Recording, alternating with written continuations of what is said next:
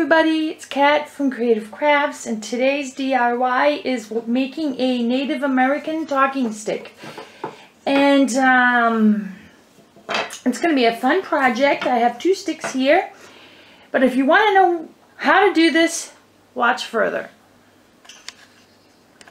So the things that you will need is a stick. I have two here that I found outside a some kind of a carving knife or I have this. This is a you could say a rug cutter or a razor. Paintbrushes paint. I got a pencil because I also want to draw some American Native American um, Indian um, I want to draw symbols on it. And if you want to add some extra stuff like a leather band and some feathers you can do that too we will do that step by step, but as you can see, I have my colors there, and you can see that I have a pile of uh, wood, well, carvings from the sticks here already. And how I did that is I took my carving knife or razor and I gently try to carve is till I get to this here, the part to the root I don't know what you want to call it, from the inside or whatever. Uh, I took off all the skin, you could say, the top coat of the stick. And I tried to do it gently so that I don't lose too much of the stick, which you can see that I didn't, and it looks pretty good. You'll need sandpaper because you're going to have to sand it. This one is a different story. It's an, was a very, I think it's much older than the other side. And um, yeah, you can see that it's a little deep, so we can go to the next step. So everybody, um, like I was telling you, after you carve all that stuff off, you can see there's a, there's a lot of mess here. I'd suggest that you put either newspaper, this is a baked paper. I didn't have any newspaper left because I used it all. And so I decided to clean all this up. This is, I'm just going to show you one and I'm going to do the other a different way. This one is going to be, you know, colorful. And let me tell you a little bit about a history about the talking stick. The Native Americans use this uh, for council members. So when they're in a council circle, when they discuss important things and like that, um, the only person who's allowed to talk if they have this in their hands and they pass it around to everybody. So as long as that person has the talking stick in his hand, he's the only one allowed to talk at that moment. Say what his thinking is in my mind and mine. No one else is allowed to say anything until he's done and he passes to the next person. So um, that's what the talking stick is all about. If you want to know about more about that, just go and Google. Google's your friend and it'll tell you everything. And I decided to put, you know, some pencil designs on it, what I thought I want to paint on it. So now I'm going to paint this. But before I paint this end, I want to stain this end here. And what I'm going to do is I'm going to use shoe polish. So let me get this heavy thing here. And I'm going to stick this stick inside here so that it, I can at least have this stick sticking in the position where you know, you can see that I have here. Okay, everybody. So, um, after I discussed the thing about taking all of your, carving this down, sanding it down to how you want it. Don't do it too much, because if you carve it too much, you're going to take too much off and it's going to be all lopsided. So you don't want to do that. And now what I'm going to do is I want to stain this one part, one part of it, I want to stain it. And I'm just going to um, use a shoe cream. Just a shoe cream. I'm not going to get use any toxic stains or whatever you want to use for it. I'm just going to use normal shoe cream. So what so I'm going to do here is take the shoe cream I have here open it up. And you see that here? It's it's a brown color. Let me see if you can see. It's a brown color. So I just squeeze just a tiny bit on there. And what I'm going to do is I'm just going to take the shoe cream.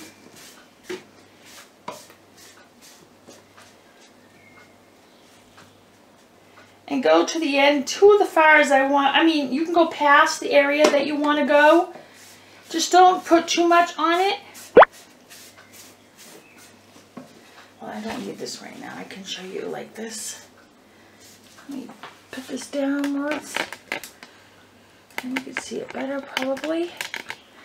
Now that I do it like this, like I said, you press a little bit so you see color come out. And then you take this normal shoe polish.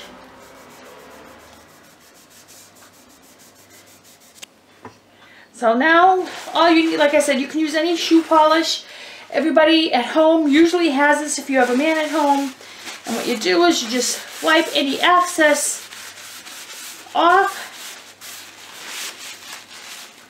And that's all you do. You just wipe it off and now you just wait for it to dry, which shouldn't take very long. It's also non-toxic and it's good for the environment because this is non-toxic stuff. So now you're going to let this sit. I'm going to put the stick in here and let it do whatever it wants to do. It's like you can see, notice here, there's some parts that didn't go through yet. So, like I said, You may have to do it more than once. Squeeze it. And because there's some here pieces that have maybe holes in it. And the holes didn't get enough in it. If you want to wait a little bit, you can do it twice, three times. However dark you want to have this color, you can do it. And that's it. What I love about this, it has a sponge, so easy to work with. Well, I did try to show you twice already, and each time I showed you the stain, the camera went off. So, like I try to say is, I stained it, I put two coats on it, so now I'm like gonna let it dry. And once it dries, I'm gonna start painting these areas up here. I don't, I mean, I could paint the whole thing, well, I was just going to decide to paint this all different colors, but I de decided at this moment that I'm going to paint the whole thing um, with the stain. You can still see the things that I did, uh, made the designs on, which I'm going to be doing with a white permanent marker. I was going to use paint, but I have permanent marker, which I think would be better. So let's try this again and see how far I get before the camera goes off again. So, I just hope this works. And when you get into areas where there's a holes, like I said,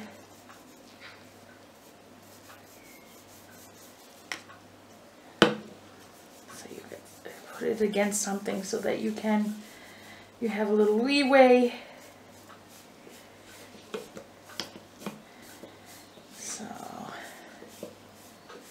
There's two different ways. You can make this, paint this really colorful, or you can uh, make it a natural wood like I'm doing with this one. The other one, I think I'm going to make it colorful. So at the end of the video, um, I'm going to post a picture on um, what it what the other one's going to look like when I'm done with it. Let's go here.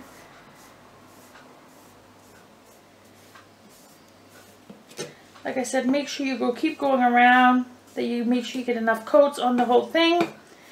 Other than that,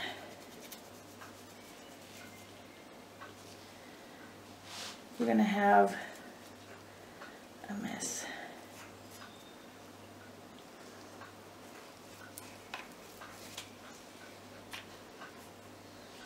Try to put this here so you can see. I'm not sure. Yeah, you can see. Okay, that's good. So.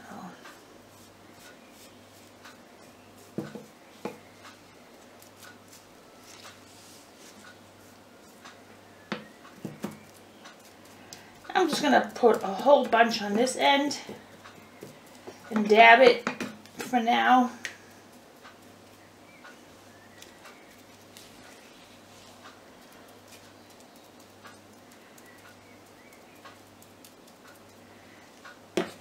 So,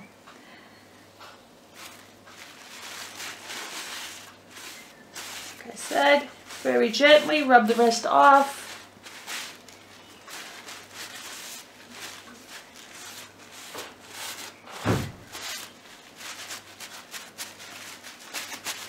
I don't want to rub it too much.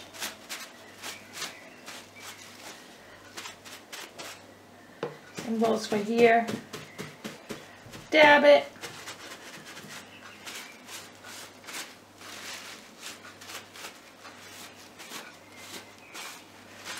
So now I'm going to go over it with the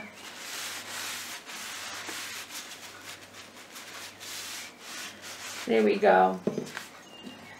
So right now I'm going to let this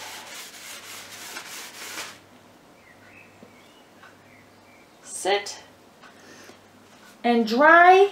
And then the next step is using the permanent markers. I'm going to go get them and I'm going to make my little designs on there. So that is the next step. So everybody, I took my acrylic painter um, permanent marker. Well, it's a, like a paint, acrylic paint, and it comes in a marker form. And that's what I decided to use. I decided just to use white I may use black or another color just for the highlighting a little bit. But this is all you need to do. It's just this. This is all you need to do. This is what I did. I'm not done. I still want to do some more here. You know, but this is how you make a talking stick. A Native American talking stick. Um, you can, don't have to make it like a Native American. You can do any color you want, any design you want. Um, like on the other one, like I said, the second stick that I did, I'm going to do it, paint it different colors, all kinds of bright colors. That's why you have the paint over here. And that's what I'm going to do. And at the end of the video, I'm going to show you. I thought maybe just painting it and then showing you at the video instead of video videotaping me painting it. Um, it's It wasn't very hard. I took a pencil and made my marks that I where I wanted to paint or where I wanted to use the pen or marker. You can use anything you want. And I just made the designs on it the way I wanted. I didn't want to put it all the way down. Like I said, only halfway up. From this way and up, that's where I have the colors. The top part here, I will add um, some um, rope or some leather band with some white feathers. And that's what will be the next step that I'm going to be doing with this. And yeah, that's basically it. That's how you can do it. It's a very easy uh, DIY. Take a stick from outside. Even children can do this. But the parents will probably would have to take off the the the skin part of the the stick. Can't talk today. Uh, take the skin part off the stick for the children and then if the children wants to paint it they can paint it any color they want that's something to do to keep themselves busy Kids will love to use markers. They can draw whatever they want on the stick. And that's an also a great uh, tip that you could do with your children for a hobby. But this is just for me, for decoration for my uh, living room. So that I can have all kinds of different things. Because it's like I have a world map on my wall. And I decided to make all kinds of different decorations in there to match with all kinds of parts of the world. And to symbolize the United States, America, I decided to make this. And I mean, you can, if you're from Australia, you can make something with Australians.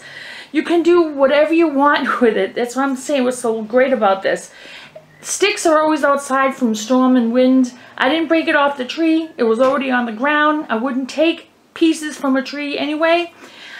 I just found these on the outside when I was taking my dog out. There's still so many out there. I was thinking about getting a huge, there's a really big one out there. I was thinking about maybe making a walking stick. But we'll see. First, we'll let this dry up. And I'm going to paint it, maybe some other colors on it. Maybe. I don't know. I'm still not done. Like I said there, it's empty here. And you need just some more decorations in other places. And basically this is all you have to do. If you want to, um, I'm going to probably put um, spray, varnish spray on top of it to protect it from, you know, um, so it'll be shiny maybe. I could do that too. Or I can just leave it like this.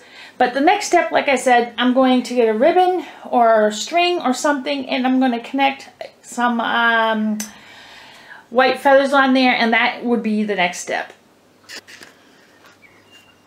So everybody, I found some jute rope. Then I have this silver wire. It's actually for making jewelry. And then I have these white feathers. I'm going to actually wrap it here on the end, the jute rope, or and then I'm going to add some of this around it perfectly so it looks nice. And then I'm going to add the feathers hanging down from here and then that will be all done. We have to be careful, it's still kind of wet. So this is that will be the next step. Alright, I decided to try to make a close-up so I can videotape this part if the video keeps playing. I'm waiting for my glue gun to get hot and then I'm going to wrap this jute rope around the, the top part of here. I don't want to touch too much of this because it's still kind of wet, the paint. So you have to wait a little bit. And then once I get that on there, I can finish my decorations here. And then we can do the final touches. And then I'm done let's hope this glue gun gets hot fast because I don't want to.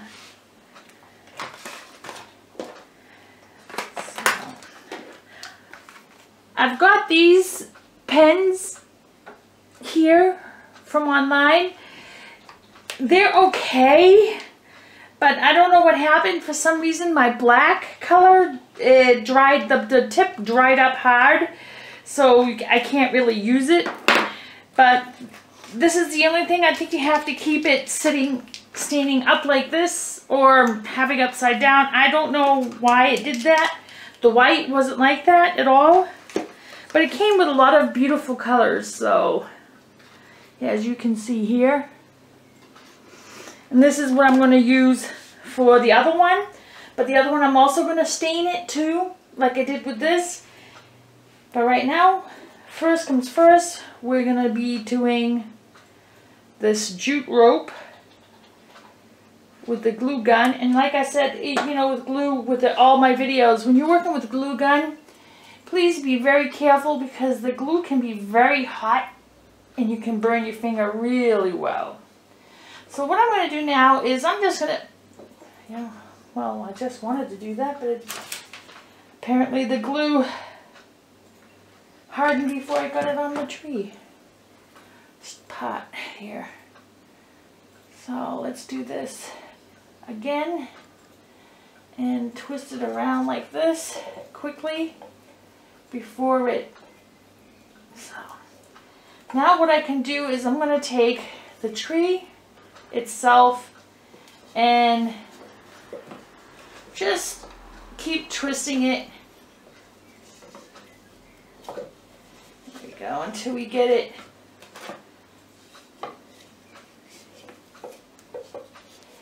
fitting nice and tight there, as you can see here.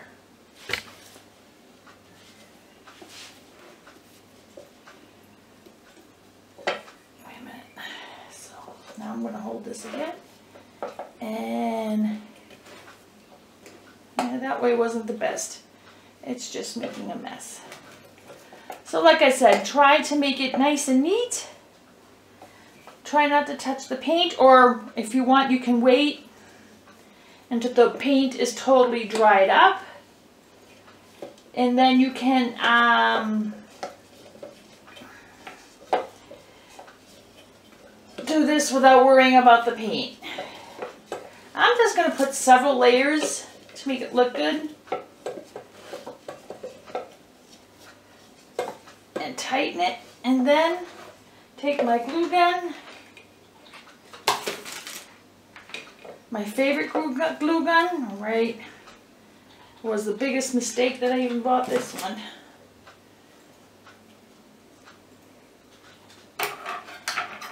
So what I'm going to do is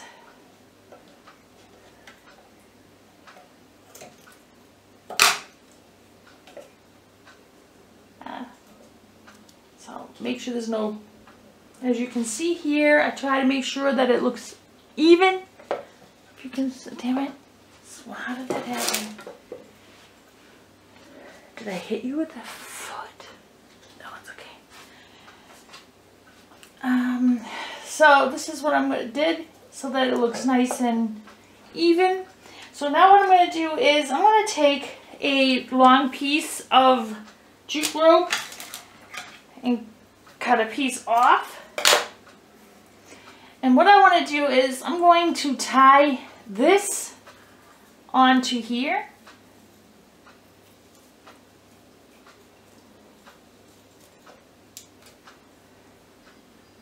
And then what you want to do is you can take your feather like I have here.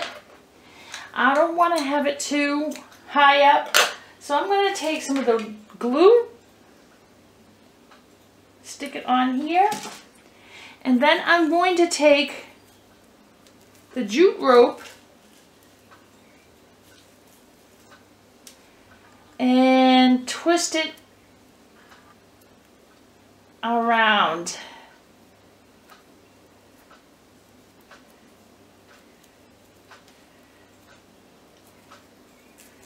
And then while it's still hot, I would suggest that you squish it all together. Make sure there's no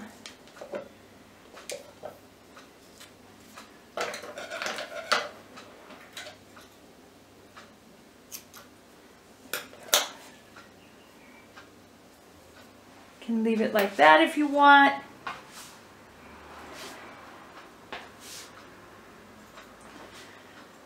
So now, if I want, I can take, take it, the feather, and just twist it so that it stays basically on this side.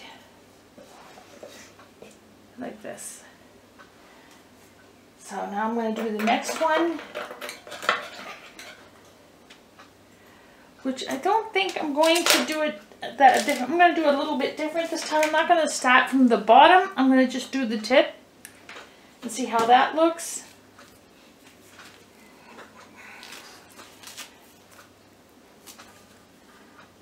So let's do this.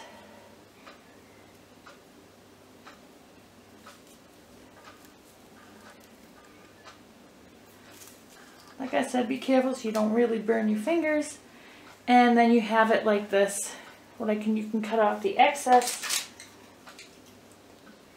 If you're like a perfectionist, then I would suggest that uh, you do it in a way so that you know that you want to have it perfect. So let me just check this out quickly. So now what I want to do is I'm going to add some glue here to the side here. And I'm going to take this one here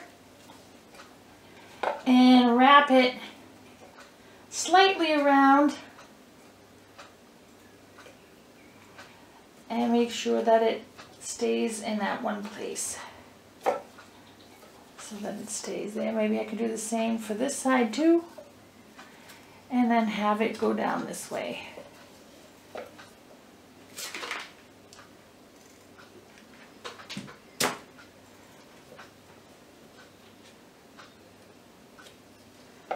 So, then you have your two feathers here connecting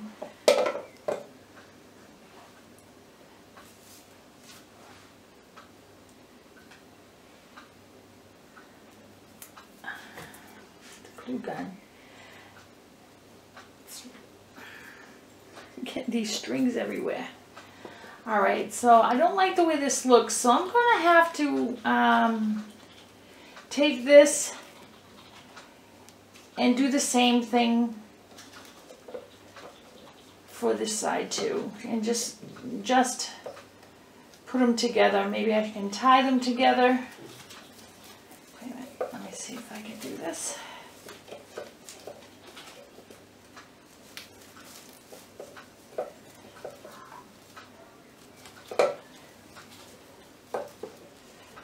Um, okay, how was I supposed to do that? I don't know.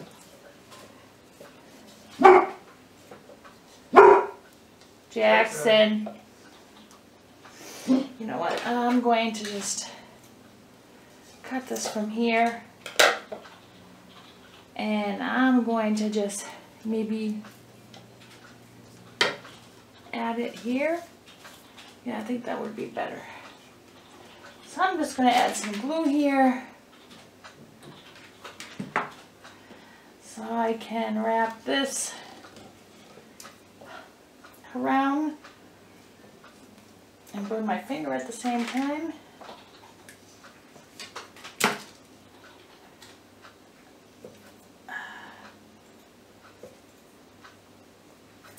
There we go.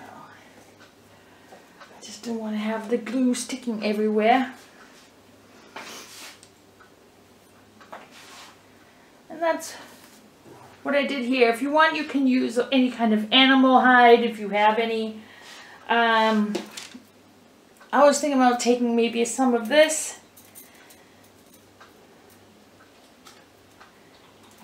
And wrap it around it.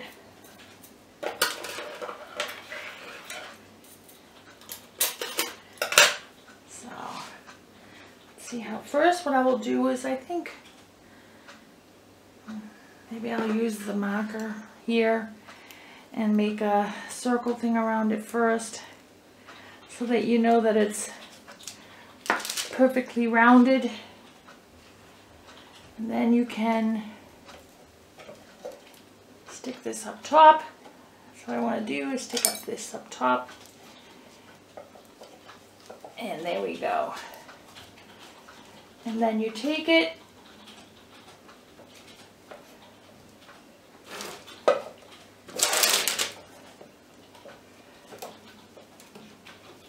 and go around.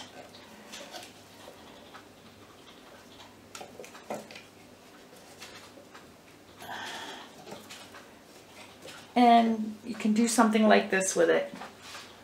If you can see that here, what I just did here. This here, this part here. You can add anything you want. You can add jewels, pearls, diamonds. You can add bling to it if you want. But this is, I just wanted to make a simple one. I may end up adding another feather, feather, not feather, feather. And I will finish this up. And then at the end of the video, I'll have a picture of this one and the one that I'm going to make all colorful. So watch till the end. And if you like my video, please give it a thumbs up.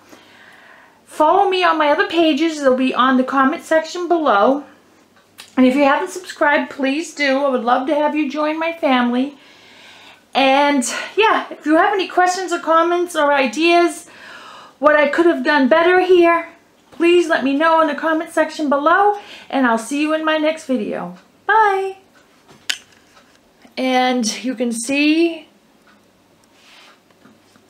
the designs I did to it. This is just the, the white paint on it.